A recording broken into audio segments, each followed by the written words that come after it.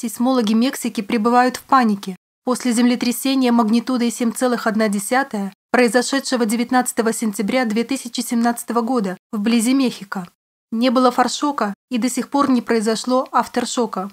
Землетрясение магнитудой 7 без форшока и авторшоков последний раз наблюдалось в Японии 9 марта 2011 года.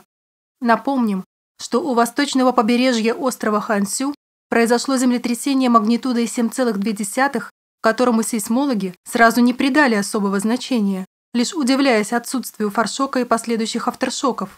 Все стало понятно 11 марта 2011 года, когда в 40 километрах от эпицентра странного сейсмического события грянул сейсмический толчок силой 9,2 балла, вошедший в историю как Великое Восточно-Японское землетрясение.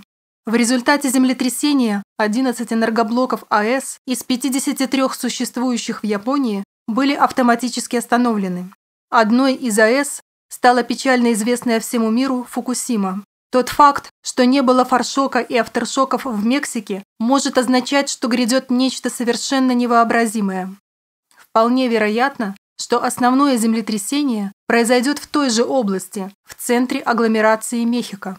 Однако, также не исключено и то, что главный сейсмический удар сдвинется в северном направлении, в сторону Калифорнии, США, под которой находится огромный разлом Сан-Андреас.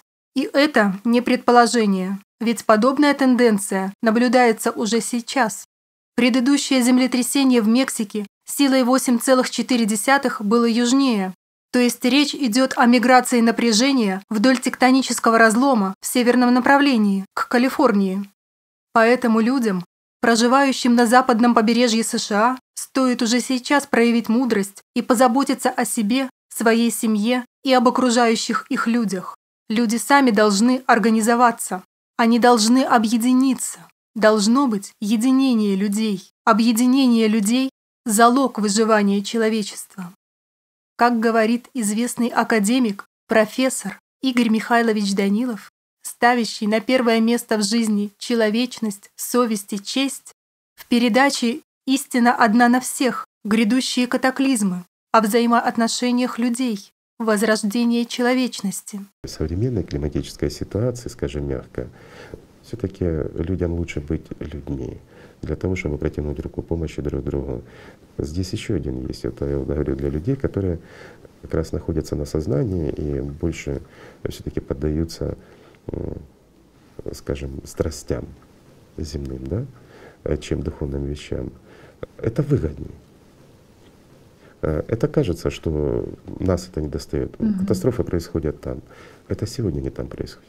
Завтра они произойдут у тебя дома. Тебе поможет сосед? Нет, конечно. Если он будет таким же, как это. Правильно? Так что нужно сделать? В первую очередь протянуть руку дружбы соседа. Посмотреть вот так в глаза друг другу. Просто посидите, посмотрите, подумайте. Иной раз даже слов не нужно. Для того, чтобы понять, что все мы одной крови. Правильно? И вот тогда будет жалко соседа, если соседом беда случится. Когда ты будешь готов помочь этому соседу, это будет означать, что и сосед сможет помочь тебе, если беда придет в твой дом. Но пока ты сам не готов помочь соседу, не жди от него помощи. Он такой же, как и ты. Он живет в тех же самых условиях. Если вам понравился наш выпуск, ставьте лайк, подписывайтесь на наш канал и будьте в курсе новостных климатических событий в мире.